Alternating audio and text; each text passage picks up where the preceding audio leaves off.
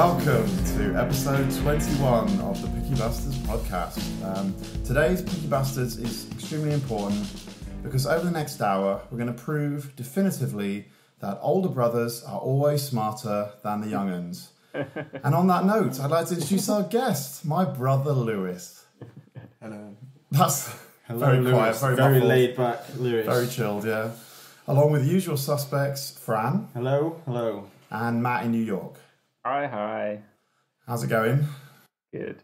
So we're going to start by getting to know Lewis a little bit. Um, I barely know him myself, so it'd be good to get these questions worked out anyway. So I've got four questions for you. Can you tell me, please, your favourite album of the last twelve months? It was gonna be it was gonna be the record I put on this playlist because that came out Okay. like October or something. Hi. Okay. But I will say um, uh, it's probably the Earl Sweatshirt record that you didn't like, but Matt liked. So, Okay.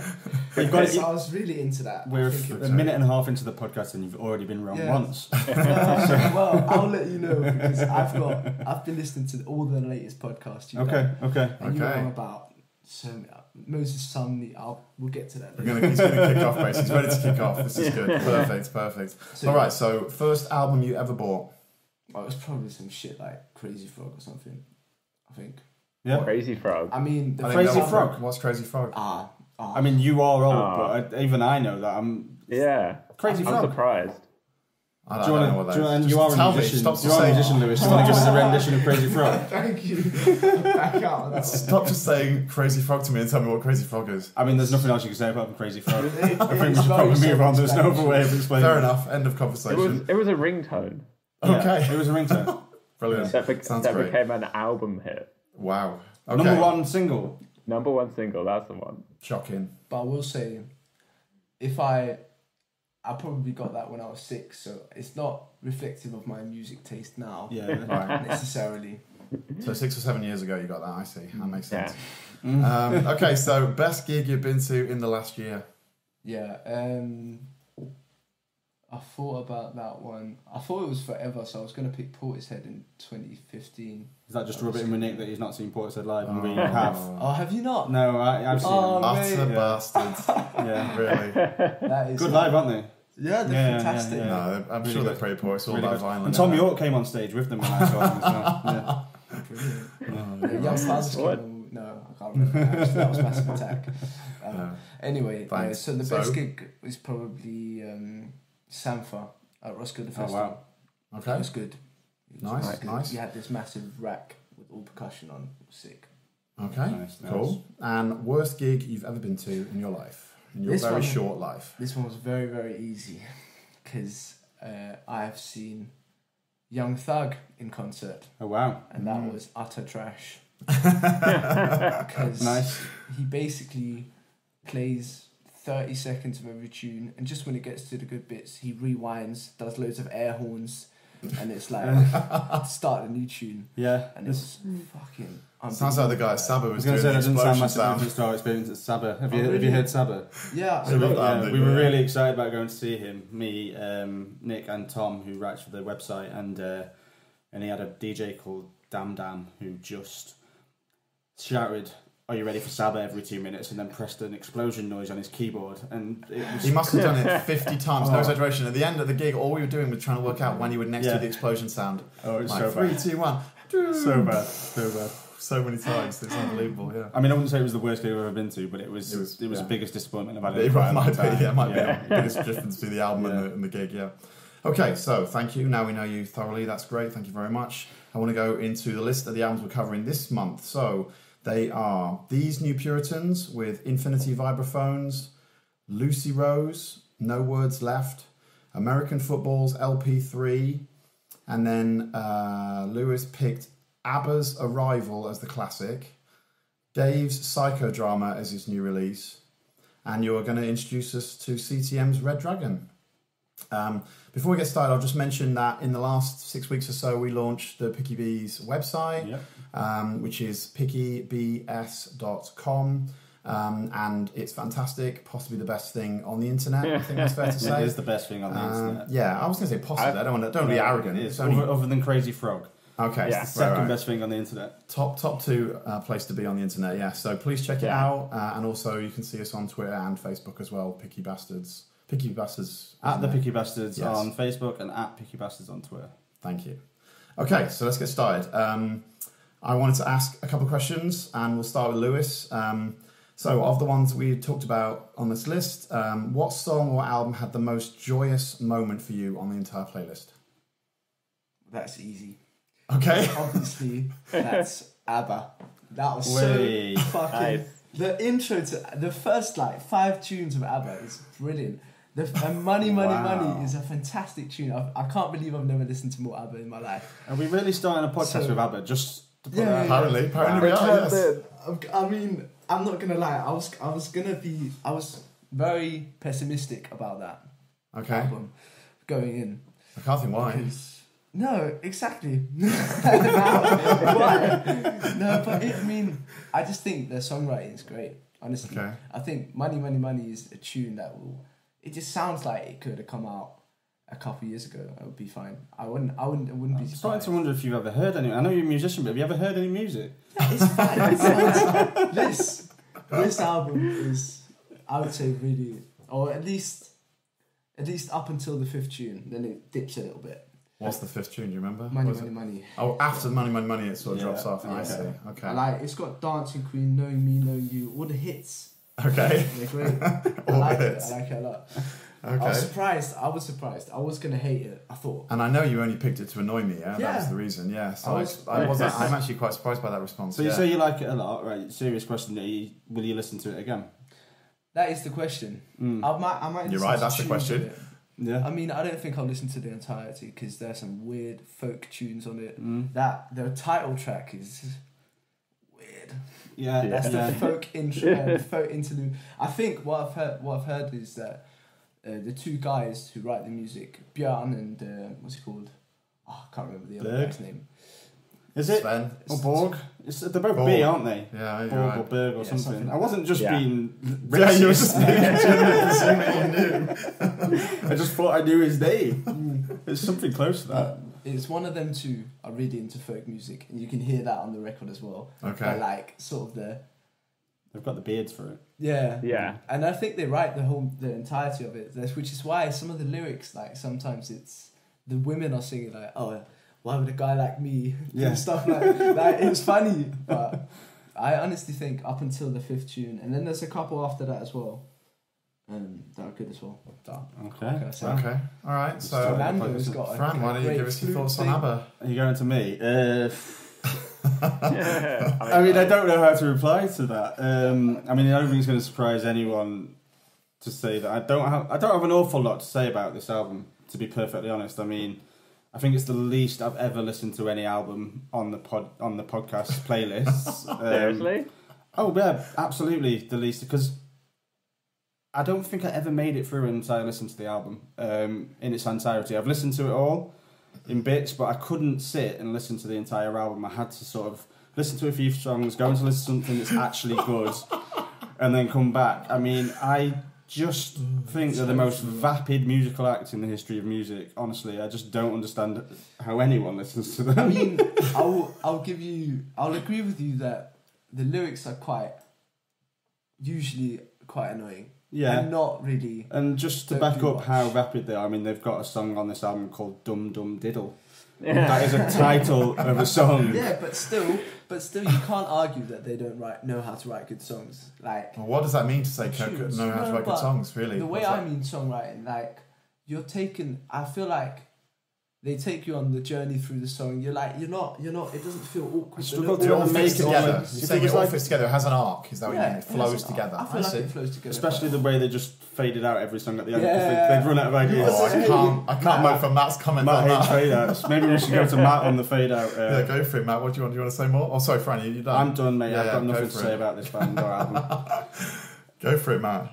I yeah, I ignored the fade outs in this because the rest of it's just just pure pop classic. It's, Yes. I I already liked ABBA. Two votes in favour. Get I in. already like. I already am. Uh, I, I love their greatest hits. I I think, think we should start auditioning And- new podcast members. And knowing me, knowing you is my favorite ABBA song, Mm. and so yeah. Is that because you like Alan Partridge though? Because you can't like it as a song. It's great. oh, fuck off. This is just Uh-huh. it's it's it's like shiny pop. It is nothing more than that, but it it kills that genre. That's horrible. Nothing. I, I, that's an interesting phrase to use. It kills that genre. Kills Fran music. Uh, okay, okay. Plus, plus, uh, like I generally think like their voices are really great, and Yeah. I like I like listening to hearing them sing. Okay. So yeah, I, I, I thought it was great, and I'm really happy Lewis picked it because I had a lot of fun. No problem, mate. You two need to Yeah, get nice together one. and just dance to ABBA. Okay, is that all you had to say? Is that I it? can, I Yeah. can, can I? Okay. I can say negative if you want. Go on then. If you like, the why did it have to be me blues tune on the record is. Oh, it's a bit weird. I've got to say, that's pretty shit. That's your only Yeah. negative about the ABBA album. that's one of the that's one of the worst. And Arrival, the title track, is sort of shit as well. But I've spoken about that earlier. That, Yeah. I'll, but those are the two worst on the record. on Okay, so are you ready? We, we got two votes in favour, one against. All Go right. ahead. I'm very curious, Nick. Slave. There's absolutely no way in the world that So- you like this album. he's gonna slate it. Go on. I could be all kinds of like post ironic hipster about this, and I could like tell you, even though you'd fully expect me to hate it, that like like somehow it's kind of turned turned me around, you know. But I'm happy to sit on the fence and say, on the miserable side of the fence, and say, I this is completely unlistenable. Yeah. this is absolutely Yes, Nick. atrocious. it's the absolute definition of so many terrible terms about music. So I put wrote a couple down. It's lyrically totally facile. Yeah. Like Dancing Queen, for example, is so vacuous like Know Me Knowing You. It's so cheery and chirpy like Fernando. It's that's just so grating. It's so annoying. I So to be honest, I was going to say as well when I looked into it a little bit more, I couldn't. I'd forgotten the fact that they started on Eurovision. Yeah, that's how they Yeah. actually really launched Yeah. their career. So we're really talking about the two of you voting for the quality of a band that started on the Eurovision Yeah. Song Contest. I mean, how do, you, how do you both feel about Gina G? Bucks Fizz, They- they were good, weren't they? they're like one of Matt, the it wasn't a real selling- question. They're like one of the biggest selling groups of all time. so I take Yes. that. Yeah, yeah. Yeah. You're just So miserable. a Queen. Like, you're just miserable. Well, look at the name of the podcast because I'm Yeah, happy to I sit with the miserable people on But this like, one. Because the Yeah. reason why this record is so good is because it's it, it amongst all these other records, it's it's actually cheery. The cheerful. Yeah. It's- You enjoyed it because it's it's next to Cheery. some miserable no, I records. was happy. I was happy. I was so looking forward No, he's to got that. the he's got the ring endorsement of the word cheery. That's just really that says it all, really, doesn't it? It's so was- cheery. It was quite a turn listening to this after Yeah. listening to Dave. yeah, exactly. Yeah. But you needed it. I feel like it was Right, necessary right. after all those heavy. I literally at the end of my notes, I just wrote in desperation. I just wrote goodbye ABBA. That's all I could to say. Hopefully goodbye, and I'll never come across it again. But how do you think? Why do you think Dancing Queen's a bad tune lyrically? Oh, I think Dancing Queen's a. It's sort of like dour Just- and sort of like. Um, I mean, it's- a dancing queen, young. What's the lyrics? It's just lots of words that rhyme with queen, isn't it? Just any word they could get that rhymed with queen, and then they just put them in a row. But like compared to the other stuff on it, it's not much worse than any of the other. I think maybe the thing with Dancing Queen. I know that it was you who said Don't that. give anything away. Probably the reason Dancing Queen was one that stands out as particularly annoying is because you've heard it since I was one till this year. Every time I go in a room, I was at a wedding on Saturday and it was played there, and every time I go somewhere, fucking Dancing Queen's playing, and it was shit the first time, and I don't understand how. Even when I was a child, I would be sat there going, "Nah, nah, turn this off." this is terrible. And yet, 30 years, 35 years later, I'm still hearing it, and you made me listen to it for a month. So, Oh, I'm yeah. so happy I picked this. Yeah, so you really are risk now. Okay, so uh, let's go to the next question. So, Fran, which album changed most, in your opinion, from your first listen to your most recent listen? Well, this was a difficult question for me because it was most of my opinions stuck on this on this list, so it's not a major change. That's not but- acceptable, I'm afraid. It's- But Hmm. there was a Answer the question. minor change with uh, Lucy Rose's No Words Left because I kind of took a little while to get past how similar it sounds to Laura Marling. Yeah. Um, Laura Marling's one of my absolute favourites, um, but Lucy's Lucy Rose's voice sounds like her voice. The song, the tone, and the music's similar. But once I got past that a little bit, I kind of realised that I, I like this album probably as much as I like a few of Laura's Laura Marling's last few albums, and, and that's a compliment from me. I don't mean that in a negative on Laura Marling's last few albums. I thought this was really good. I like the sparsity of the album. I think the songs sound sort of almost simple and sweet on the surface, but there's a real darkness beneath. Um, and one of my favourite pieces of music is the song that's called "Just a Moment," which is just a, just her strumming the guitar for about two minutes, but it acts as kind of a breathing space. And fi- you've just said about ABBA being like the lightness on this playlist, and this was a dark album about sort of anxiety, about depression, about a lot loss that she's been through. So yeah, but for me, I thought there was you know To be fair though, Fernando was quite depressing, wasn't it? ways? Not, let's not try and depressing in spin it. general. Exactly. Yeah. but in a different way. Are we just is ABBA going to come back at every bloody question? But yeah, I mean, I think it's a real consistent album. Tells a story. Uh, I think for me, the two highlights were probably the confines of this world and song after song, and I think that's partly because of what they contribute to the album as a whole.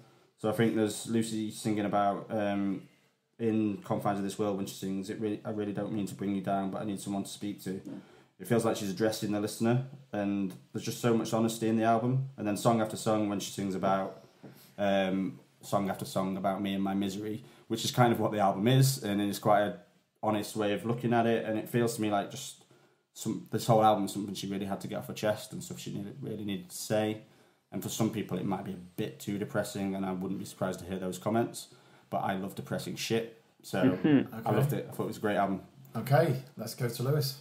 What do you rate? So you mentioned uh, just a moment, Yeah, and I put down for that it was long and boring. so I thought it was definitely the low point of that album. that's a great little It breathing on- space. No, it went on for way too long.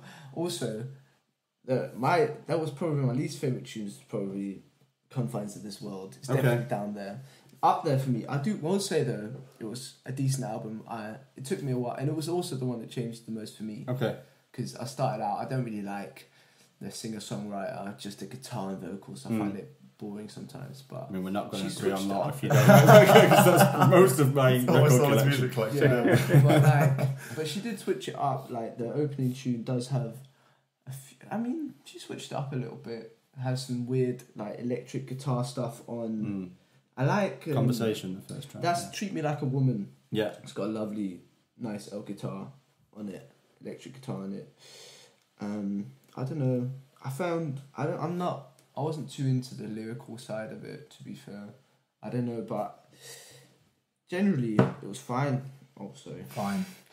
It was fine. fine. It, It was was fine. fine. It was not as good as know. ABBA, but it was fine. was But I just think- fine. I just think she sounds better when she's just singing ooh and ah, like, than instead of singing lyrics. I honestly, it sounds harsh. That is so harsh. it- okay, that was harsh. That but is pretty harsh. I That's just allowed. find You can be harsh if you want. You can be harsh. like, and- You can like ABBA and you can be harsh about what was actually Oh, a very it- high quality album. It's fine. it's just because within like in the, on the first tune within 30 seconds when she goes uh, it feels many moons away I hate the way she says that says that many Wow, moons that's very specific. That is very that's- specific. That's some close reading things. right See, there. I really That's like the way she says that I though. so hate that that's one. that's where that, that's one of the bits though when I was like she's so similar to Laura Marling because it's a very similar delivery to Laura Marling. Do you like? Do you know Laura Marling or No. no? Don't listen to her. You'll fucking hate her. cool All right, so uh, shall I jump in or Matt? I don't know. I have yeah, one I more don't- specific thing Oh, yeah, Well, one thing, yeah. Go on, like go on, Lewis. was the transition from conversation to know what's left part Mm. one was brilliant and great and and smooth and nice and Okay. but that just confirms my point that she sounds good when she doesn't say Good guitar player, that's what we basically You got down. don't Good like the player. guitar, the song that's just guitar, but you like it when she doesn't sing. I mean, it's no when she sings ooh and ah and You like like, it when she does ooh and vocali- harmonizing and stuff I like that bit okay. Okay, fair enough. All right, so um, I'll, I'll jump in, shall I? Um, yeah, go for it. So for yeah, for this one, uh, I'll try and uh, ignore what Fran said, and I'll just say what I wrote down, which was, um, as far as I'm concerned, you can see this album as um, a really interesting sort of spin-off from Laura Marling, um, or you can see it as derivative to the point where it has no purpose. Um, and from the very start of this album, from Conversation, as far as I'm concerned, it's the latter. This album is so derivative of Laura Marling that I just don't know why I don't just go and listen to Laura Marling. Is it instead. derivative though? I mean, you can't. Uh, she sounds like she can't help what she sounds like. She No, can't, but that's her it's also voice. musically and lyrically. But I it's not her first really, album. really it's kind of just this. yeah, Is, you know, it's, she's a contemporary of Laura She's been Marling, around for really. as long as Laura Marling, so. So should I dismiss Laura Marling instead because she's too much like no, Lucy because Rose? Laura Marling's obviously a bigger artist with a better back You catalogue. pick but- which one is derivative of the other. I don't mind. Well, I'm just think saying they're so this similar. sounds quite a lot like some of Laura Mar- Marling's early stuff. I'm not going to argue with that. I agree completely. But Laura Marling's gone in a slightly different direction, and she doesn't do as, sparse a music now. And I think there's room for two people who sound as amazing as they do. So I'm gonna let I'm gonna let Lucy off. Fair enough, fair enough. like Laura. Um, I also weirdly also wrote about just a moment um, because I thought the guitar work on it was probably the most beautiful stuff on the album musically. It was- Um, it was it was really really really really- nice and it really sort of ha- made me pause. I sort of drifted through a lot of the album and then it really made me sort of stop and think a little bit more about the album as, I, as I Mm. got to that point each time. Um, so that really worked. Um, there were some points I don't didn't actually write a track down, but there were some points where it ended up sounding uh, like almost slightly jazzy, almost uh, in a way that I, I wasn't that comfortable with. It sounded a little bit like kind of jazz pop or something. I can't quite put my finger on it, but um, can't, can and that stuff didn't really and that stuff uh, didn't really move me. So overall um, as far as i'm saying it just was a bit of a um, i felt like i'd heard it before and what i'd heard before from laura marling was a little bit better. There's a big difference between her and Laura Marling though in that I think actually Laura Marling doesn't actually write that personal music. Like she writes a lot a lot of her stuff's based around like folk stories and it's much more sort of okay and I think this was a much more personal album than than anything Laura Marling's done actually. Okay. Which is, is a point of difference. i'm, I'm willing to take that on I, I mean to me it's um, it's just musically and, and kind of acoustically very sort of derivative Yeah. but I, don't, I can see what you're saying about the lyrical content maybe that maybe that's true yeah Matt is also a possible. lot big Laura Marling fan, so let's- all right let's matt go for to it then what's your rate And well, I, I I've been a big fan of uh, Lucy Rose for a while as Oh, well. have you? 'cause Okay. She used to be part of Bombay Bicycle Club. Oh, did she? Um, ah yeah, and she Oh, used I hate them. like her old stuff is mostly Make your bloody mind up. well, uh, like her old stuff is mostly like indie rock kind of kind of edge to it, and she's gradually been getting folkier and folkier, and her music's been getting more and more sparse, and I like it less and less. Okay. And so I, I yeah, I think compared to some of the other people, like we've talked about Laura Marling, uh, there's another one, Chloe Foy, who I also really like, and I don't think that um, Lucy Rose feels the sparsity as well and has the same intensity while having kind of less going on in the in the music. I don't particularly rate the music on this album. I think she's got a beautiful voice, but it just wasn't Got beautiful Yeah, Laura Marling's so- voice. It's great. She has yeah, it just it wasn't voice, supported by anything. It was just kind of yeah, it was just a bit too quiet. Um, so I Okay. yeah, I just thought it was Turn all it a bit- up. It's not about volume, yeah. Just press, Yeah, press the it's just- increase just volume button. volume. It'll be fine. I don't know. I, it's the perfect album if you want to like have a conversation over it. It. Maybe that's why the first one is called conversation. She's just giving you a hint. Just fucking talk over me. I mean, I just think so. I don't know what I'm saying. Oh, that, that was dynamite. That's dynamite. Yeah, But good call. I like. I recommend seeing her live. She's great live. Like she's her voice really uh like comes out live. I think Okay. Okay, great. Cool. Cool. do that. Okay, so uh, next question then, we'll move on, uh, is for Matt. Uh, which album yeah. ends best? Which album Uh, ends best? Sorry, I don't know why I'm saying it. I just had not seen Yeah. that. Just question repeated the question It's not for for no me. reason, It's yeah. fine. Right, Which carry ends on, best? Matt. Just ignore him. Um, so I'm actually torn between the two remaining albums for this. Um, but I'm There's gonna three go- There's remaining three albums. remaining albums. There's three remaining albums. There's three. yeah. Yeah. Do you actually listen Oh, to the yeah. whole playlist or? One, one of them I'm just ignoring and hoping it doesn't exist. Um, so to pick one of the others without giving away which one you're ignoring, then. I'm gonna go with these new Puritans. Okay. Um, Is I that just 'cause really, it's great when it ends. I really like this album. Um, I've liked pretty much everything these guys have done, um, and I thought the end was really interesting. They kind of had the three ending songs were almost like two instrumentals tied together by this really long, claustrophobic uh, song ARP, which kind of evolves and is in the way it's kind of um, really dense and kind of doesn't feel nice to listen to almost, and then this drum beat kicks in the end, and suddenly it's light light at the end. And and uh, yeah, I just really enjoyed musically that kind of journey.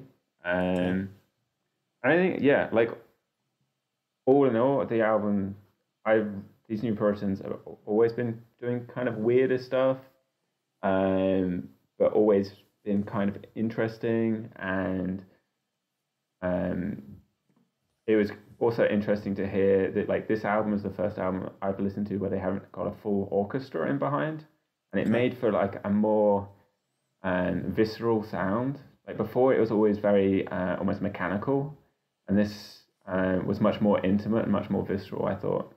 Um, so I, I yeah I enjoyed this album a lot. Okay. Where we think go? I, should I go next? I'll go Yeah, next. go for it. Um, so I am, uh, which I think is relevant. I'm a massive, massive Attack fan. Uh, Massive, and I massive think, Attack fan. Yeah, massive, massive Attack fan. And Yeah. uh, I think um, the side of me that kind of loves Massive Attack was really addicted to this album because I think there's an awful lot of similarity uh, in the way they produce tracks and the way they deliver tracks. In fact, I did actually wonder at one point if the vocalist out of Massive Attack, I can't remember which one the name, the guy's name now, was actually guesting on some of the tracks for this vocally. I thought it sounded like he was. I feel like I've listened to the wrong album. We're talking about these new Puritans. yeah, but uh, These new what are we Puritans. talking about? Yeah. nothing. Anyway, Just anyway. the two things. What the things that you're Um, both saying? Just And there was some really good parts like Into the Fire and Anti Gravity were like the Yeah. highs for me. Um, but there's something a little bit uh, scary about it, and I suppose the best way I can describe it is that it's kind of like the way that Radiohead launched Muse, and okay. uh, Rage Against the Machine like turned into like the nightmare of nu metal. Like this band, in a way, are like a, sometimes at their worst, very melodramatic version of, of Massive Attack that's like overblown and too much. Like some of the string parts, you talk about not having full orchestra. I'm glad they have full orchestra because they would have really overdone it with that even more so. I mean, they had, they had a huge amount of like swells of strings and cellos, and you know, it's just like it just came across sometimes, not all the time, but sometimes it's really melodramatic. So I think it's harsh to say, in fact, unless I think more about it, that it's like the difference between Rage Against Machine and nu metal, but because that's think it's harsh. really shocking. But um, but yeah, it, it was just problematic for me that, that they did sound um, like a kind of watered down version of, of a band that I really love, like a Yeah. kind of mellowed out version, or but also with some like overblown parts. So I don't know. So the lows are actually I thought uh, where the trees are on fire was probably the most melodramatic song of the of the whole album. Um, I actually thought ARP was also pretty big, like production wise, and maybe too much. But um, yeah, so it, that, to me, that it was almost a frustrating listen in a way because I, you know, I, I wanted to get into it, and I did find it quite interesting, and I, I can imagine playing it again in the future. Honestly, some of it. But I just do feel like, oh, am I, am I getting dragged into something that's like a tangent from what I really am interested in? You know? uh, that's what I worry about. So yeah. Anyway, that's that's my my view. So uh, let's go to uh, Fran. Okay. Well, I mean, massive attack comparisons have thrown me completely. Um, anybody saying they like this album has thrown me completely because for what is essentially an emo album, and that's all it was. This left me feeling completely emotionless. I just felt so removed from it all the way through. And for an album like this, of this style, to be interesting at all, I think it has to have a real emotional pull in it. It had absolutely nothing. So I can barely tell you what a single one of the songs was about, about apart from some trees being on fire at some point. Or something. No, I, I agree with that. There was a bit know. about there was the opening of the, of the first or second song about like uh, I'm Chemicals. lonely, let's be lonely together. Oh right, that one. I okay. thought that well, was I was quite coming to yeah, ahead. one of the opening songs next when um, they they spend about a minute and a half listing chemicals, and I felt like I was back in chemistry and fucking hated chemistry. So um, There's a lot yeah, of fire. Yeah, a lot of Yeah, fire. he talks a lot about fire. Yeah. honestly. I think Yeah. the fire's because fire's so melodramatic, isn't it? It's Yeah. like fire. The trees are on fire. The trees are on Yeah. fire. The trees are on fire. Right. And yeah, there's a line on one of the songs where they repeat, uh, "This is where your dreams come true, your nightmares too, your nightmares too, your nightmares too." And Your yeah, nightmares this too, was my again. fucking nightmare. This album was my nightmare. It was horrible. I hated it. I despised it. in Okay, so fact. hold on. Really? These new With Puritans. ABBA. These new Puritans are ABBA. Come on. Yeah. call ABBA. it. You choose ABBA over these new Yeah. Puritans. Wow. What? this, I, I feel like you listen to this. Because this this right is now. a dark album. I mean, you can't This say is- it's yeah. not dark. It's not dark. Singing It's about so trees dark. being on fire for four minutes is not dark. It's people who want to be dark. It's like Fred Durst level of dark. It's not dark. That's what I'm talking talking about about with the the Rage Against the world Machine ending. nu metal There's thing. I was right with that about analogy. That, that's true. Yeah. If you go from they like want to be dark, a really good band and then water it down into a sort of. I mean, it's like remember when we terrible listened to version Paul of? Bearer on a really early podcast, Yeah. and they were like a, attempting to be dark, but they're just showing up against other people that do similar music to them, and they're just Yeah. Are much darker. And these are the same. Like, oh, they're- look how dark we are. We sing about trees being on fire. You're not dark, mate. All right. Thank you for that, uh, Lewis. Please do tell us why you love this album so much. to be honest, I sort of just agree with Fran. Okay. on This one. Ah, I can't lie. This album was pretty shit. that's enough. That's it. That's I will stop there. I I could mention a few things. Um, his singing annoys me Yeah. a lot. yeah. It is extremely self-indulgent. This album, extremely self-indulgent. Mm. Like it's like they're just oh, group wanking all the time. Like it's so so like it's so so. Trees on fire. you went there. No, but you get what I mean. Oh, It's my so little brother. He's trying to say that. Don't cut that out. Don't you dare cut that out. Because Mate, that's going to be the tagline for this podcast. It's true though. Okay. Yeah, I don't know if my the opener did not catch me at all. There's two albums on this playlist that open with a fucking vibraphone. Because the the American football one opens mm-hmm. with vibraphones as well, or, or maybe Glockenspiel, I don't know, one of the two. But it's like, oh, I don't know. I don't have much. Is that a good time to transfer to American football? yeah, Do let's let's Yeah. move on to that then, shall we? You've got Yeah. more to say? you want to start us? I could start with I could start us with American football. I can tell you my opening notes for this was dad music, dad lyrics, and dad delivery. this was such a dad album. do you understand? Do you, do you get Oh, the concept I'm of not dad 100%, album? Like- 100%, Yeah, yeah, yeah. 100%. I'm not going to say Um, any more yet because I don't want to give any more of my opinion Yeah. away, but yeah, Yeah. go ahead. So I've only got worst songs on this, which is uncomfortably numb. Hate that tune. Yeah. And Yeah. every time, and it's with the singer fucking Paramore. I can't believe with the Hayley Williams. Yeah, think she's called. yeah. And when they do this weird chase thing, and then it ends off with him singing, "I've become uncomfortably numb." I want to. I feel sick, literally sick every oh, so that's bad. Um, and I don't. I don't know if it's a reference to, to the Pink Floyd tune as well. Yeah. If which Yeah, it it has is, to then be. Must be. It's got must to be a little bit of one, isn't it? Yeah, yeah. fucking. That is just blasphemic. so Good vocab, nice. thank you. Um, so that's that's your entire summer, is it? Dad music, dad music, dad music. Yeah, I don't know. I, I haven't. Yeah, it's just dad music. I can't say much. I mean, all the arps, everything's so clean, everything's so boring, everything's so like. Ah.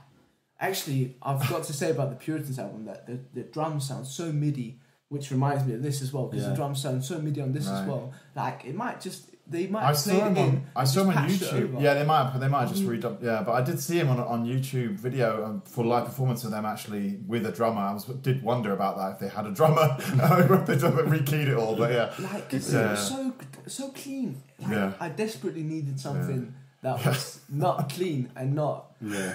like Yeah, I yeah. can't.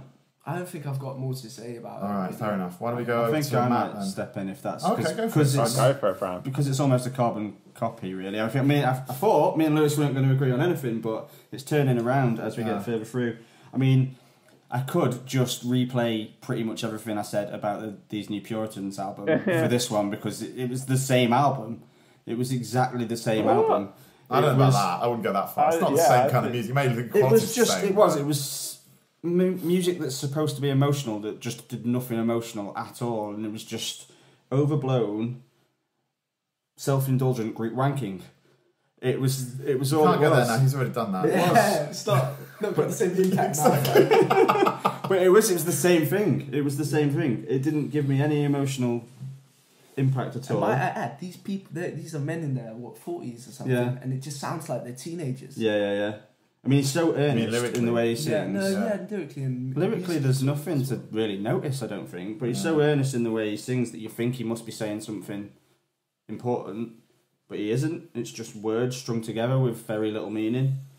So yeah, I've got nothing positive to say, so I'm not going to say much about it at all. other than why the fuck are they called American football? They couldn't be further away from what American football is. The only similarity I could think of is that they're both shit. It's a Yeah. shit band and a shit sport, so maybe that's Well, why they call themselves American football. Strongly football. disagree. But with that, the, that is with the, sport only reason I can. Why are they called analogy. American As football? Lewis. I don't know. They they also people don't call it American football in the US as well. It's just football. So yeah, why, that's a good well, so why are they called American football then? I don't know because they're dumb.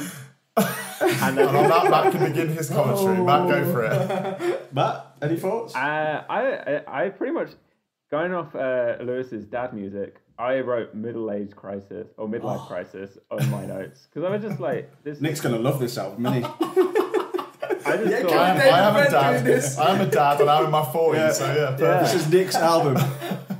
He chose it as well. Nick chose it for this list, by the way. Yeah, just I to point it out. yeah, well, we've Which got would be you blind for like the 50th time I've told you that. Still your fault.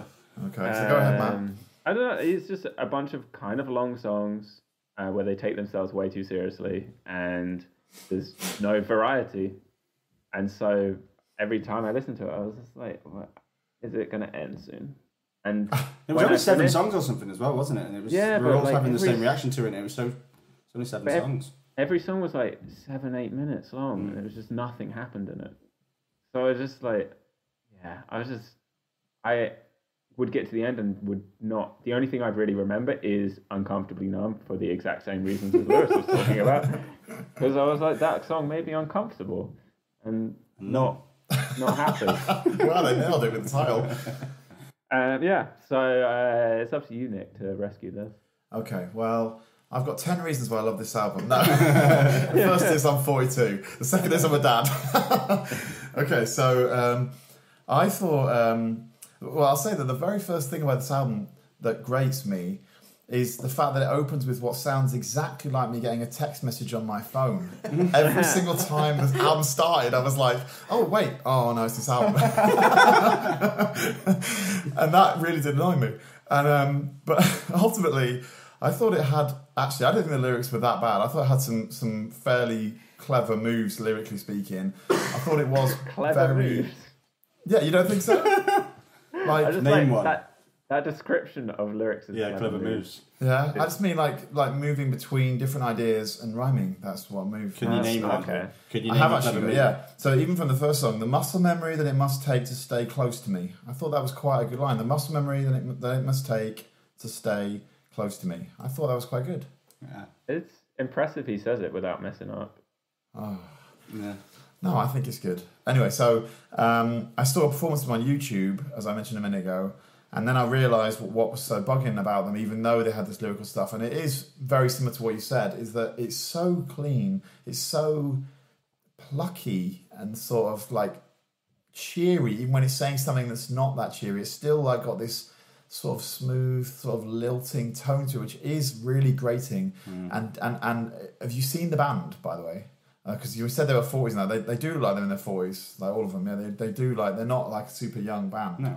You know, so um, in a way, it was kind of a, as somebody still makes music. I'm trying not to turn into that, honestly. So I can honestly say. So maybe I am doing, but who knows? But uh, that would look, that's not my goal to sound like as clean, tell you, as if you ever sort of sound like this, creamy. As that. It's just it's got no edge to it, and, and that's that's unfortunate. Yeah. So, um, but yeah. Anyway, so no, I, I don't I don't love it either. Um, and it was yeah. Too So they're not even hitting their audience. and too literally plucky because I mean literally it was both cheery and they were just doing all this picking on notes on Mm. on both guitars all the time through every single song. Yeah. It's just too much of it. Too much of it. And so also, when you spoke about the lyrics before, I feel like sometimes they put it, there was like, it was witty in a way where it's like, not actually witty. Mm. Like it was forced. It felt Right. very forced, some of the, okay, and sort of like a bit of a dad joke.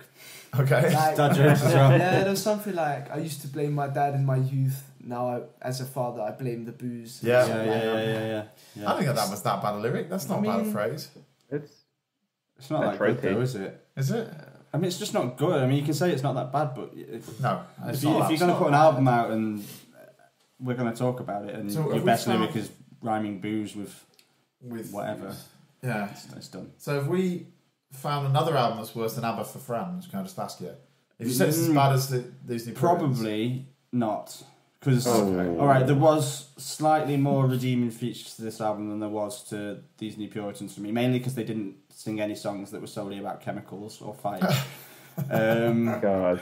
so I don't agree at all about the right. similarity between the musically though. I mean, these are the Puritans, whether or not so. I'm not blunt saying in musically it's as in, in so the much tone of the music. What I'm talking about is the um, the all right, the emotional side of it, the actual Yeah. content of it, the lyrical content, the the way the albums made me feel was Yeah. identical because they both were very overblown. So there was a lot of similarities in that respect that they were overblown. They were self indulgent. They were trying too hard. And yeah, it, it, they were shit. Yeah. Okay. And I think if you want to tran- if you want to transition, we can easily go from self indulgence to Dave. so Lewis, why don't you start? You just raised that comment. So the last one is Dave before we get on to the Wild Love. So go for it. Dave, psychodrama. Well, Do tell. I was really looking forward to listening to this album because I picked it because It's got a lot of good reviews. I've noticed, by Yeah, the way. Whether, whether we think of it, there's a lot loads of about reviews. him. I've heard loads of people talking about him being the British Kendrick Lamar, and he's definitely not that. um, He's got nearly as boring a name. I mean, no, a more Yeah. boring name, but that's about the only similarity. Yeah. yeah, Dave, Jesus. Um, yeah, Everyone out there is Dave. Um, It's just I don't know. Everyone in the I audience. was That's I was- all half our fans got. I was baffled by the fact that this felt. I thought it was going to be much deeper than this. There are like two tunes that are actually good, Mm. or I don't know if they're good, but they try to do something. Yeah. Which are the tune I reckon Black guess. and what and Leslie Yeah. uh, Yeah. try to do something. Although Leslie's like excruciatingly long, and didn't have to be that long, I don't think. and I'm I'm still not sure that I like the tune, but I see what he's trying to do, and at least he tries to do that. Mm. But I feel like we can draw a comparison to Saba, who you reviewed earlier yeah, from Prom King, yeah. which is definitely a better tune than Oh, yeah. Leslie, but does the same thing. It's long, but it just progresses in a better way. Prom King is one. Of, is probably the best hip hop song that came out last year, isn't it? And it progresses. It's, It, yeah, like it you progresses progresses a lot. Yeah, yeah. This is It this amps is, up all the way through, doesn't Yeah, it? yeah, and I feel like Delivery Leslie, wise and lyrically, Yeah, everything. yeah. Yeah, Leslie yeah. does progress, but it does it in a with strings and like this harp. Fuck man, this harp. it's just so. Oh, I the, generally the beats and the, the the the yeah the beats on this thing is just sad piano music, and um, I don't know, and the song Black, which has got some great lyrics on it sometimes, but I feel the way. Do you remember Nick? You like Stewart Lee in it. yeah. I feel like um, It's gonna be a Do you know massive when- digression right now. We're No, on no, Stewart Lee. you know when Stewart Lee goes, um, oh, oh, did you go to see Stewart Lee? Yeah, was it good? No, but I agreed the fuck out of it. That's how I feel with this album. with, with the true Black. Like, Yeah, I'm not sure I like it's, it, but I agreed the fuck out of it. Yeah. It's a great, I mean, if it was a Twitter post or a Facebook post, I'd share it or whatever. But, I don't want to listen to it. Yeah. Yeah, I've listened to it for a month. Yeah. and I've got Okay. some lows as well. The opening, oh shit, I forgot. He does this thing where he's got this actor talking as if he's his psychotherapist. Yeah. yeah. You're just digging into all of my points. Ah, sorry, mate. It's alright. You But carry it's on. so You're the obvious, guest. like that's so bad. And, Yeah, and the, bad. there's the opening song. I didn't think it was that bad to begin with, but then it goes switches up to this chopped vocal beat, and it's just ah, it goes double time, and it's got these chopped vocals, and ah, I can't stand that at all. He's in pain. And the tune location is definitely the worst tune on this. Hmm. I think. Well, it's up there. It's got a shit hook, and it's got saxophone, like just doing shredding on the side. noodling. Yeah. there are a couple of things I will say that lyrically, a couple of things that, I mean, he's obviously a good writer. He can obviously write write lyrics, and he's witty. Because in he's got a link between two tunes where in Screwface Cap, uh, Capital it goes, I got ninety nine out of hundred marks in my English cla- uh, on my English questions. I'd get the same if I did it again, because I don't know the definition of resting. And then and the last tune it does, I didn't get ninety nine marks in my English. In English, I was faking it because I got ninety eight. Because I don't know what a vacation is, so he like ties the tunes between, Oh, between together. the start and the end, right? I'm right, not sure that's like doesn't redeem it, but it's like Okay. it's, it shows that he's got overview Yeah. over the entire there's a record, plan. And there's Yeah. a one as a Dane on the tune Disaster. I think it must it's Jay. J Hus. Hus. Yeah, Yeah. it says life's great in Sweden or Copenhagen, getting brain from a Dane whose first name I can't pronounce, which I thought was quite a witty line. And uh, Right. personally, well, Yeah, no, audience may not know that Lewis is actually over from Denmark. Yes. yeah, so, I'm half um, Danish Yeah. and live in Denmark. Yes. Okay, so uh, yeah, Fran. Do you want me to go? I don't know Um, either one of us. Yeah, I mean, I've got mixed feelings on it. I mean, a lot of, again, me and Lewis seem to have suddenly formed Aligned, a really You're tight team. alignment because I've his note. He's just, I think he was reading my notes over my shoulder. um, I mean, I'm probably not quite as as down on the album as a whole. Like, I do, I do think Black and Leslie were pretty strong. Um, but mixed feelings on the album as a whole, and I think like Black's a quite strong, intelligent song about black, the you know, the black experience, which he, he, does really well. Despite, yeah, in some ways it's a bit too long and it's a bit long-winded. And the same with Leslie is about domestic violence, but it's a bit long-winded. But what I didn't get is how those two songs that were quite strong and really socially conscious. I didn't know how we could go from that to singing a song uh, called Streatham and talking about how jiggly a woman's front and behind are Yeah. and songs about location, which is solely about taking women to his friend who can't leave his house because he's on probation. and then I've actually, one thing me and Lewis might not agree is Disaster, where he t- talks about getting brain from a dame whose name I can't pronounce. I've actually written that line down as one that I fucking hated because I just I, I wouldn't mind it in like a general hip hop. If it was Dizzee Rascal or something, I'd be alright. But if it's someone who wants to write a song like Black and Les, he wants to write the song Leslie, where he talks for the whole song about domestic violence and about women, and it's a meant to, it's a, it is a positive song and it is.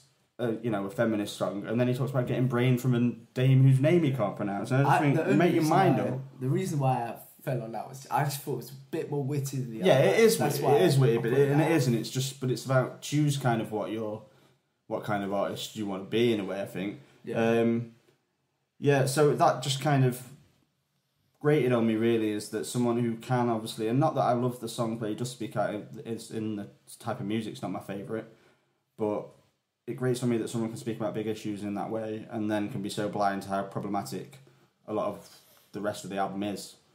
And then just on another point, which Lewis also mentioned, is that therapist, right? If if you ever went to therapy and someone spoke to you like that, Yeah. y- you would have to twat them. Because he's the most patronising bastard I've ever heard. And also doesn't sound like he's ever read a script before. I think he just picked someone off the street who's never read before. It's badly acted and he's, he's, he's a twat.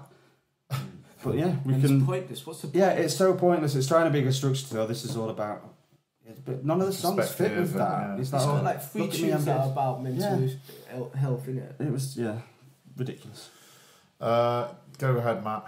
Uh, yeah, I had mixed feelings about this. Like, I'm not kind of yeah, kind of in a similar place to to Lewis and Fran. I I a lot of it, like a lot of aspects of it, I liked, and I liked listening to the whole album in general. It was better than some of the others. I just felt sometimes it didn't quite connect. And you could already talked about Saba, and on reflection, like at the time, I wasn't taken completely by Saba, but like listening to that album more and having listened to other uh, albums like this since, I think Saba is way better at this kind of thing. But I can also like this is his first album, and I can see he's trying to do something, and he's doing a lot of like interest. He has a lot of interesting ideas, and I just don't think it was quite executed as well as it could have been. Like I, I, I like the idea of having like a it being like a, a therapy session, having this kind of concept album, um, but the yeah the message and the tone doesn't quite stay on point the entire way through to make it. If you're gonna have a concept album, you have to stick to the concept, don't you? Yeah, And and it even doesn't do even that. it's even in some of the songs about just about his mental health, he fluctuates quite a lot in what Mm. he's talking about. Um, and so it's it's hard to have like a clear message, especially if a song is going to be like eight minutes long. Um, but that said, that yeah, there's some great songs. It's not eight. He It's can- like eleven.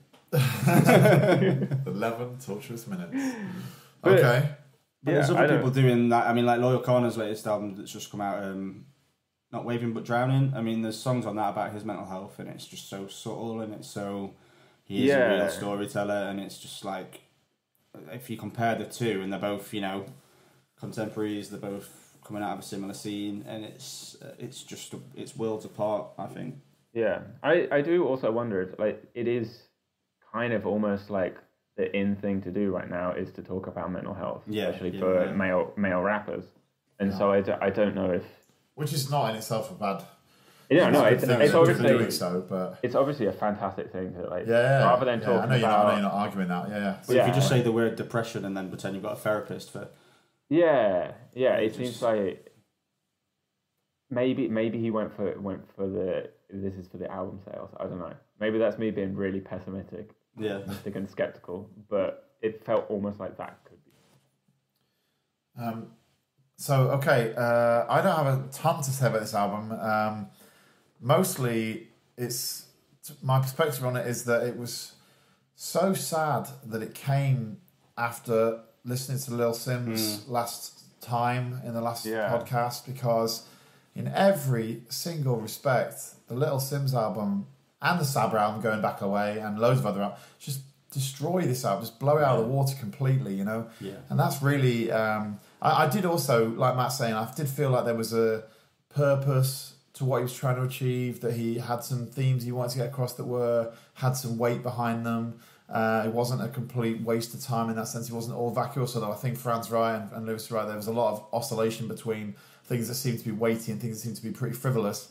Um, but yeah, in terms of all the elements of, of what works in hip hop, from my limited understanding of it, in terms of the beats, the flow, the sort of reflective lyrics and all that stuff, Little Simz just a month ago um, just completely killed it. So that that left me sort of feeling like, oh, this. I was I was I'm also of, oh, this is the hip hop album we got on this playlist. This is gonna be this is gonna be energizing and really, you know, I'm Yeah. looking forward to this. And then it was just so um, flat. You know, it just just seemed pretty weak. So yeah.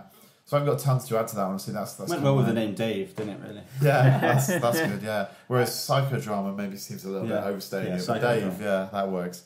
Um, uh, just occurs to me, Matt, did we miss you out for American football? Did I? Did I? No. mention that? Did we No. not? Okay. I, I thought it was crap. Oh yeah, you did. I, I, I, I thought, thought sorry, I thought we'd somehow managed to ignore that. I'm sorry. I apologise. No. Um, okay, so I think that's all the uh, the main albums. So No, can I say a last thing about the Dave thing? yes, It's just it doesn't it doesn't bother me particularly that you do stuff that's like about how cool you are, about how many goals you get with or whatever. But you've got to wrap it in like that's why obviously Kendrick Lamar is such a legend. Like on what's it, uh, backseat freestyle, Hmm. all that that tune it, out of context that tune's shit, but in Yeah. context it fits perfectly because Right. it's sort of wrapped in. You know that he's just bigging up himself in front of his friends. right, Like Yeah. this is just pointless. Yeah, yeah, This yeah. album is just pointless. yeah.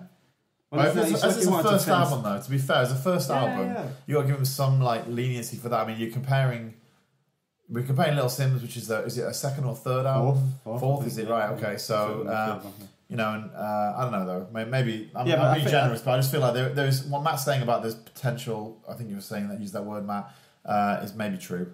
Well, I think Yeah. if we want to be give him a bit of leeway, is that he needs he, he needs to make a decision on what he wants to be. He needs to like, does Yeah. he want to be? Because there's loads of rappers around who do just rap about, Yeah. you know, cars and guns and mm-hmm. women, and, and that's fine if that's there's an audience, there's a big audience for that, and that's fine. But I think you need to sort of pick a camp because you can't have a really feminist song and then spend 19 songs talking about arses. And You just can't. and then get a new producer as well because I feel like the beats And a new name and a new name and a new Oh. therapist. Can I say, I, I think, think- possibly with, with the inclusion of Lewis in this episode, we've possibly been the most cynical, most Yeah. nasty, most sure- mean-spirited bastards Yeah, I've ever seen in the 21 that might be episodes of this because of the podcast. playlist because it was a Yeah, yeah. fucking bad playlist, man. I can't lie. It was a really bad playlist, Okay. Yeah. which maybe we should address before I'll we just- move on to. Yeah, I'll just say that there are albums and music that the four of us actually like in the world. I just want to be clear on Yeah. that because I think maybe when people are like, oh, they just slay everything. Well, you know, every now and so then we have a playlist that that for some reason it seems to really like all be quite similar, Yes, and like we had the really soulful one, and then Yeah. we had. I can't remember a few weeks ago we had one that was a few months ago we had one that was quite similar, all kind of similar genre, and then this one was generally crap. So That was- overblown. was that the Yeah, I, think, genre? I think you're saying. I think you're saying. I mean, you're reasonably making that point in terms of Dave is overblown and too much, Yeah. and American football is overblown too much, and these new Puritans is overblown too much. You know, so that's three out of out of five have got a very similar and problem. ABBA. Well, yeah. No. I don't know if that's overblown. Of course, it's overblown. It's it's terrible, but it's not It's overblown. overblown. They get how excited can you get about any of the things they sing about? And they get really Right, leave excited. Leave Abba, alright? Back off. Leave him alone. Back off. He's getting defensive now. All right, anyone- so Before we move on to because like we did used to do this all the time and we don't really anymore. But has anyone got a favourite album on this? Because I don't know if anyone's. I mean, mine's Lucy Rose, obviously. But has, Yeah. does anyone else like Me too, I reckon. Uh, Mine's- Lucy Rose is your favourite, and you weren't like not even ABBA. Well, oh, obviously. Oh, other than ABBA. So Yeah, Lucy yeah. Rose is your favourite of the new releases, even though Yeah. you didn't really like it that much. It Best sort of of the talks band about the quality of Yeah. the. I'll go with uh, oh, I don't know. Probably these new periods, I suppose. What? I don't really. No, it wasn't good. I don't. I'm not enjoying it, but it wasn't poor. It was playlist. better than Lucy Rose. Uh, well, Lucy Rose was just Clearly. doing somebody else's music. I didn't feel like it was her music. At least it was music though. yeah. Uh, these new Puritans ran away with it this week. Oh my Well, it's god. I mean, I've just gone off Easy. both of you massively. Could, is that possible? Really? Do you know what? As Any well, because these new Puritans were playing in the in the Trades Club in Hebden Bridge, which is Oh, it's really? a venue that's like two minute walk from my house. Uh, and it was before I'd listened to, and I just thought, oh, you know, I've, I've got nothing to do tonight. I'll Yeah. go and watch them. Did you go? no, Ah. because I had a quick listen to the album, Oh, thinking, right. you know, I'll decide, God. and then I didn't. that would have been amazing. yeah, small venue. Yeah, quite interesting. Yeah. No, it would have been Yeah. absolutely awful, wouldn't it? It was it was poor, but yeah, I don't know. At least it was their own music. Right. Okay. Well, on to uh, on to CTM. So let's talk about uh, CTM. You need to give us some context and Mm. also, uh, you know, why why you, why they matter to you, really. Yeah, Alright. why they should matter to us. So, And I just want to point out that Lewis has now put all notes away. He's just gonna wing. Freestyling. He's just so chilled, No, but so confident. He's just like, let's just do this. Right, go on then. I like it, so I know I know why I like it. don't I? I've listened to it loads of times. Okay. Uh, it's CTM is a is a Danish singer and cellist who I know pers- uh, well I sorry you threw me off of that.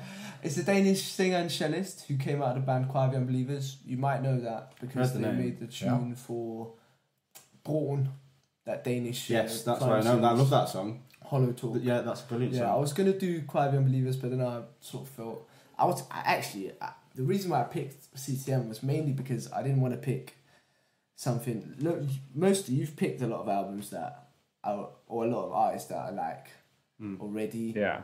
And I didn't want to just go with Arctic Monkeys because I used to love them a lot, but I just feel like I wanted to pick something you didn't. Yeah, know. yeah, That's good. Yeah, That's- that's that's always fair good enough. when we get a guest on. Yeah. So I choose. So I chose a Danish artist, and she's not quite. She's not famous at all. Like she's very small in Denmark still.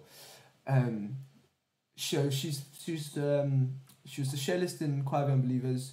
She uh, also played with Marching Church, who's the it's um Don't know them. I know Side quite. Young Believers. You project. sent me some stuff, quite young believers, and I've liked it. Yeah. Marching yeah. Church is a, a side project of the front guy of Iceage, the Okay. post punk band out of Okay. Denmark. Oh, nice, Rich. Yeah, he's got a side project with called Ah, Marching right. Church, which she's Okay. on as well, and then she does the solo stuff as well. Um, and the reason why this is a new album, quite a new album, came out I can't remember October or something, and uh, I like it because I well she calls her music sort of collage, which I get when you hear it you understand that and it Mm. takes a lot for me it took a lot for me to get into it to be fair because it's there's not a lot of songs on it really it's very collage like i get Yeah. that's the best way to describe it i think Yeah. i think she's really good at playing with um with the mixture i think she's good at mixing up classical music and contemporary sounds and like she was she's a classical cellist to begin with Hmm. she's got that background, but she's got like, a great understanding of like beats and sort of she's got these weird beats sometimes just emerge and slip out and um I don't know, just like uh, I just think the album works as a as a whole. I think it sticks. I think it it's uh, well rounded. I think it's. I mean, if it were if it were me, obviously I would probably want it to be more like song upon song upon song. But I'm happy that someone can make something like this, and I can still appreciate it as it is. I think the opening's fantastic. The opening tune's fantastic, and How does it compare to Aquarium Believers then? As I know you're a massive fan Not of a lot. aren't not really. No, I meant quality wise, not not not Oh. musically Well, for you. Do you, because very- it's come they're one very come out the other. Different. I'm not sure. They're so different. to me. Okay. Like, okay. And she- did you discover this CTM because you knew Choir of Young Believers and Um, she came out of them, or would, did you yeah, hear them in some well, sort of I context? actually or- sort of know her personally. I'll get Okay. into- I might know, I'll know- say that in the, I'll mention that later on. Rock and roll star. But Yeah. she, but she's like, um, yeah, I don't know. She just, I just think, I can't really compare the two really because the Yeah. Choir of Young Believers do tunes like actual tunes that you can just stick on. that song on on the the bridge it is in Yeah. and that's one of those songs and it doesn't happen a lot for me but watching I love that series and watching the intro like I had to stop and go away and find out what that song was I love that song that mm. much that I had to sort of go and look it up and then forgot what I was watching for a little bit and I had to go back to it which was very annoying for the person I was with but I mean that's I, yeah so You uh, should check out their other stuff. yeah The early stuff is good. Rhine Gold's a great album as well. okay That's quite unbelievers. But yeah, I just think she does a good job of letting the music breathe as well. Mm. Because Okay. obviously it's not that lyric. It's not heavy on lyrics at all. And usually, like I like artists who are really like heavy lyrically. I've Yeah. got I spitting out lyrics all the time. But I just love the fact that she just lets the music breathe a lot. Mm. And like it can be quiet for five seconds in this album. You think, oh, have I paused it? But Mm. I, it's.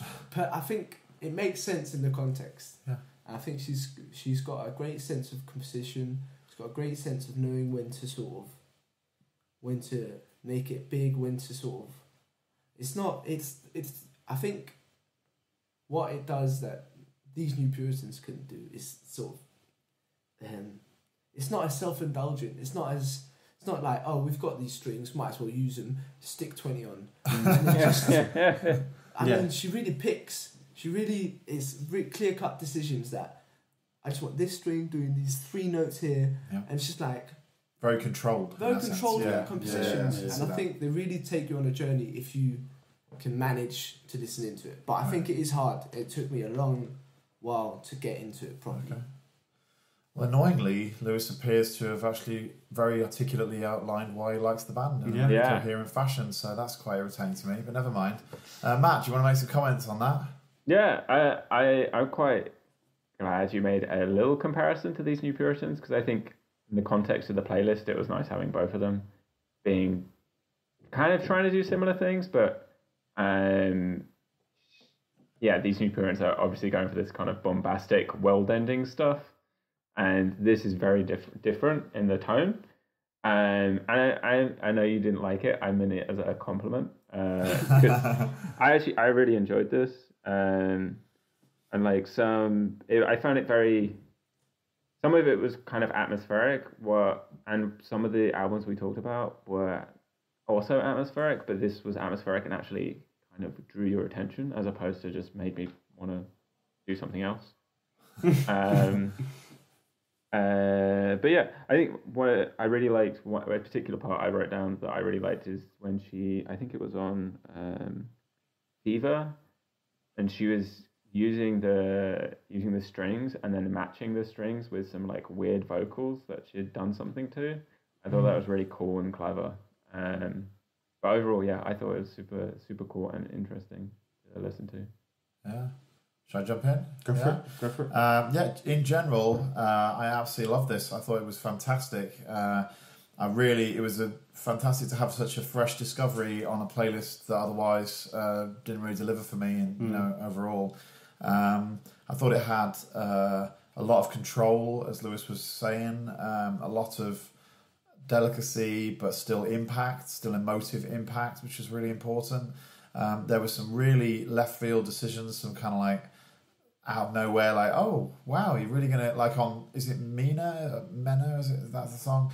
Um, this this piano comes in towards the end of that song. I just love the way it like moves so. and This does this is not derogatory at all, but so incoherently in a way, like so drifts in and out and like moves across this melody, breaking apart all the time. I thought that was a fabulous move, you know. So I I, I really really loved it. Um, if I was to find a criticism, just for the sake of the fact that I'm a picky bastard, uh, I'd say that there are moments in the album uh, where it becomes too relaxed almost. There's not enough tension all the way through. So some of the songs, one of the songs, Swarm, I think, is less effective than some of the others. It sounds too chilled almost because I want to have that intensity of like the the control, you know. Uh, but I could see like uh, how it's got like a a sort of a Portishead type restraint to the way it plays through things. You Yeah. know, like it's just like it has two notes here, three notes here. You know, the weight of each of those notes is really impactful. I thought that was great. Yeah, so yeah, I can't say enough good things about it. Really, it was it was fantastic, and not much to say, but it was the favorite thing out of these six albums. not, not not much of a big statement, but still, yeah. Frank, go for it. Yeah, so um, it, for me, it was a real sort of certain mood album. Very much like the first time I listened to this album, I'd gone out for a walk just along the canal where I live. It was a nice day, and I just put this on as the first album I listened to on this playlist. Actually, and, and my immediate reaction to this was like, "Wow, like I'm really gonna love this album. It feels really fresh. It feels really interesting. It reminded me a little bit, only at times, but at certain times of another Scandinavian artist I really like. Uh, I can't remember which country she's from. Agnes Obel. It's Um, Danish as well. Danish, who, who I, Kirsten, my girlfriend's a massive fan of. I've seen her a couple of times, and there's elements of that again with the sort of classical melded with the con- contemporary, which uh, really worked for me. But it, but there was other times when it was just a little bit too sparse for me and a little bit too sleepy at times when I when I kind it kind of passed me by a little bit. But there was That's two. what I mean. I think with this lounge, the sort Yeah. of relaxed tone of it. Yeah, But I think that's very much a mood thing. Um, and I've been listening to a lot of hip hop recently. So like when I was going from stuff that I was listening to not on this playlist and then putting this on, it was kind of no, I need something a bit more energetic. Yeah. But um, but there was a couple of songs that never sort of got got boring for me or got not boring is the wrong word, but No. never sort of passed me by, and that was Spender and uh, Stages. Mm. I thought they were both probably the two Yeah. strongest songs on the album. Um, Spender's weird. I mean, I hope I've got the right title. The one where it's talking about there's never going to be any babies, there's never going to Yeah, be yeah, any, yeah. I'm going to spend all your Yeah. money. Like, it's weird. I don't know what it, like, it's a really sort of, but that's what I loved about it is that she's singing these things that are all quite like, well, that's just a bit mean. And yeah, but it's just kind of just the way she presents it in this such, such a beautiful voice, and it's, you know, it's so, Mm. such a chilled song, but she's just telling someone, look, if you're going to stay with me, then you're going to get used to the fact that I'm not going to do anything you want me to do. and I thought that was really strong. Um, and yeah, in general, it was a, it's something, and I think you, Lewis, made a good point about it being a difficult album in a way, and I think it's probably something that I need to go back to again at another time. Um, because it wasn't always the right mood for me during this month with some of the stuff that I've been listening to and with lots going on, and, but it was it's certainly really interesting. And then now that I know that she's part of that, what is it, Choir of Young Believers? Yeah. Yeah. And I've, like I say, I love that song, and I kept meaning to go and listen to them more. So maybe what I'll do is go and listen to them, and then Yeah, go to her from that, because I think, uh, yeah, definitely interesting. Yeah, she's definitely she's definitely difficult to get into to begin with. Like you need need to give it some listens, and it is very much. I can see what you mean with the mood album. Um, Yeah. But I don't think that's neg- necessarily a bad. No, thing. I don't mean it as a negative either. I think some music is, you know, even some of my certain- favourite bands, even you know, a band that you mentioned, Portishead, Nick, and they're a band that I, I personally would only listen to in a certain mood. Yeah. There's loads, there's loads of my favourite artists. I mean, these, there's not much that I can just listen to at any time. There's a few. And I can But- say that I I had a as a teacher, which is why I know the it was written f- from like three perspectives. I think it was like one of it was written. What a third of it was written to the Michael a Michael Jackson documentary before the scandal. Okay. Right. And the third of it was an Elon Musk documentary. That's the Red Dragon reference. Oh, Ah, okay. It's, okay. um, Oh, and all, okay. the, Yeah, yeah. all the talking is about the Red Dragon project, which Ah. Elon Musk trying to, uh, I don't know what it was, inhab or uh, Get to get to somewhere. Mars. Mars. Mars. Get to Mars. I think it's Mars. Probably, yeah, probably Yeah. Mars. and then he's trying to save people from caves with a submarine at some of the times, Yes, and he's just that was good. yeah. Yeah. Anyway, Yeah. it's a So- Yeah. and a little fun fact, then I have actually been babysitted by her when she when I was a kid because she was my mother's friend's daughter. Really? Yeah, so she used to It's- babysit me when I was a that's It's a pretty risky business to put someone like that on because what if we all just slated it? Yeah, Yeah. I know. I mean, we know. didn't, and No. it Well, I was knew great. she was good, innit? Yeah, I yeah, knew you put good. that That's Confident. confident. Yeah. You're gonna win And I didn't want to tell you till after you'd made Yeah, an assessment because I Fair might enough. make it biased. I mean, we're very yeah. We don't really hold back. So we would probably Yes. been honest. You certainly anyway. haven't tonight. Anyway, But I, so, I've, yeah. I know a few people who are in who are in bands that you know have got stuff, and I, I would I just wouldn't bring it to these guys because like they got absolutely Rip slated to a bit. pieces, Yeah. yeah. we put it on the podcast, but then we were all dicks about it. It's the same reason I didn't put your album on the podcast Yeah, in yeah, point of yeah, fact, yeah, Lewis. Yeah, can't do so. All right, so we should finish up. Um, that was great, uh, and we all Yeah. hated it, almost everything except for CTM. Yeah. Yeah, so I like really Lucy enjoyable. Uh, yeah, yeah, fair enough, fair enough.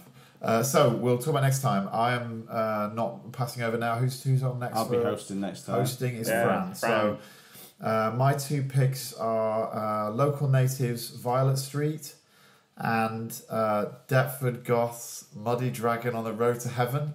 And I just want to point out that I was vetoed in my original Yeah. choice of Yeah. Venom. I wanted to pick it out by Venom, but they told me it was too far, too long Right, so past. we all talk about recent releases when we talk about these albums, and Nick wanted one from like I think it was 1942 No, or something. Yeah. No, it So, was from last year. Anyway, so if everyone, anyone's a Venom fan, they should really, you know, tweet us and tell us how wrong Fran is to tell me I can't use it. I mean, I'm really So- glad they got Wow. it because it looks terrible. Oh come on! Um, the Adventures we can- of Black we- Metal. Come on. We'll do the next one. Yeah, we'll, Wait, I'll find. I'll find wait. something. I'm going to find some black metal. We're going to comes get on a the classic. Yeah, yeah, yeah. Yeah. We'll do. All right. So anyway, so Deptford Goth, Muddy Dragon on the Road to Heaven, and Local Natives, Violet Street, and Matt.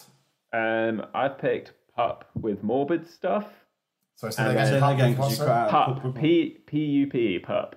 with With what? What's that Morbid, called? morbid stuff. morbid stuff. Okay, sounds good. Uh, and then also Kevin Abstract with Arizona Baby. Heard it. It's good. Thanks, sir. You're not here anymore, but thanks very much. um, okay, so for the classic, and I'm going to point out, I'm doing this 99% just because I want to annoy Nick for a moment, because ABBA annoyed me, and Nick didn't choose it, but his brother did. Yeah, so I'm yeah, going to I'm by going to take out on Nick. I'm going to go for my classic with Rihanna's Rated R. Um, also, because I feel like I've got to get over my hatred of all things pop, so I'm Yeah. going to give it a go with Rihanna. We had a chance this week. I know you failed. Or this month. I'm happy I failed personally. And yeah, Anyway, then, right, then on. I'll be telling you why I love. I want to I want to say love, but I might say loved because I'm I'm not sure that it still remains. But I, there was a period of my life when I was completely obsessed with Tupac, um, Okay. to the point that I I considered getting a Thug Life tattoo. So I am gonna come back next month fully tattooed up, and I'm gonna talk about why I love Tupac. Oh, so I'm yeah. Brilliant. Okay. So, So. I just want to say thank you very much to Lewis. Yes, it's good to have you. Yeah, thanks. To come into coming into town to do this on, on short notice, that's great, and um, we'll see you again if you can come back sometime. I guess that'd be cool. Have you on again? Thanks for everything Yeah. except Um, and yeah, yeah, thanks for that selection. Uh, And, should we give Lewis uh, a bit of a chance to plug anything he would like to plug? If Yes, Lewis. Do you have you any have- musical projects you'd like to talk about? Yeah. Sure. Um, I've Have got a band called Silent Laika who released we released two albums in 2018. They're both fantastic. and you got a new single out. The They're both latest better one- than these new Puritans. Yeah, they are definitely better than Used Puritans. Uh, one's called Sunstrip Blackpool, came out in October. That's the latest one, and then we released a single this Friday or last Friday called Yeah. Shark's Tooth. Um, Which is also fantastic. yeah, it's, and it's sort of a switch up from our ori- our It is. older A bit sound, darker. bit yeah. darker, bit more full, bit Okay. more uh, heavy. And you have another project, And I've got a hip hop project called Maroc, who recently released an EP. which is M A R O C. Yes. That's correct, isn't it? Yeah. So All look right, it up. thanks, Look man. We'll up. put some Yeah. links on the social media and stuff anyway, Okay, so you can find them. All right, we should run. That's Cool. great. Thanks very much for listening. And uh, go to pickybs.com and listen and uh, read us everything you can about us, please. Yes, we have many things to say. Exactly. All right. Nice. Bye. Bye.